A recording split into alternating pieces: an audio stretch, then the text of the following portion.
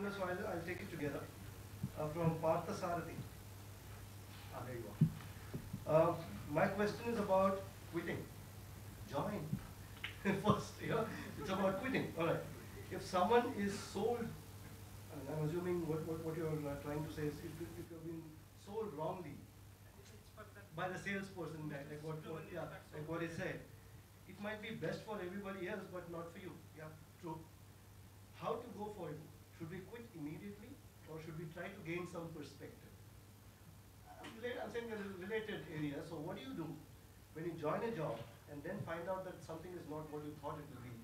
The heaven and hell example of yours, so would you like to? Yeah. Thank you. I didn't uh, realize that it was such a wonderful subject to be spoken about. Uh, no, I think very pertinent, and I thank you both for asking the question. Uh, I think there are times, uh, you know, when uh, you get into a situation of asking, is this job cut out for me or not? Uh, and we have such issues.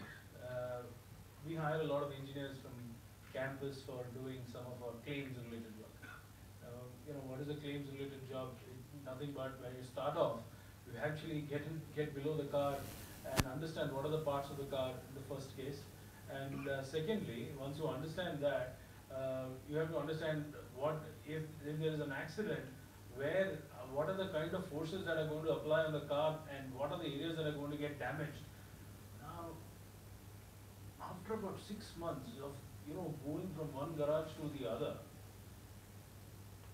sometimes engineer says, am cut out for this? Uh, Is this the job that I want to do, going under cars, checking physical forces of how accident happened and what's kind of the estimate?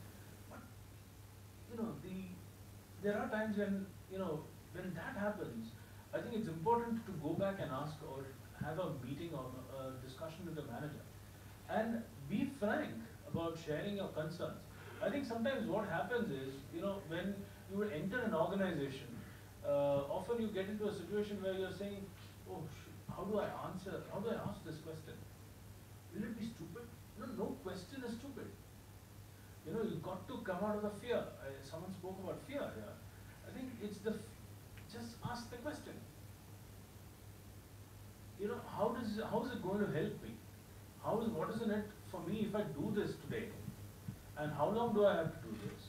And what's in it for me if I do this? Is it going to help me in my career? Because I, I'm sure that when you heard the salesman, and I'm taking the salesman's pitch for the right pitch right now, and if you heard, when you heard the salesman, I'm sure you, you know, decided that, you know, this is the industry that I want to join. I'm sure you, you didn't join uh, financial services when you actually wanted to join FMCG. You know, I'm sure you joined a financial services company uh, for a certain reason. And if you want to pursue your career, I think the best thing is to, you know, you know, be focused and as, uh, as I think Kumesh mentioned at the beginning, you know, the first few years just observe, listen, learn more, ask as many questions.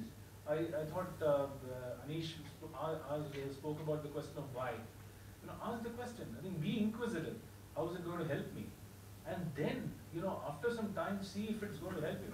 Often, you know, what happens is today, in today's generation, people try to, you know, take impulse decisions of quitting, which may not be the right thing.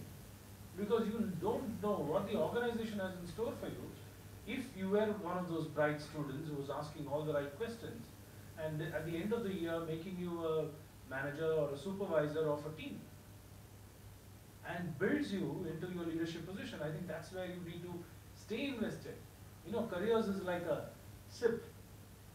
You need to invest on it, day in and day out. And then see if the organization is really able to add value to you or not. And if you are able to add value to the organization, I think it's important to ask the question.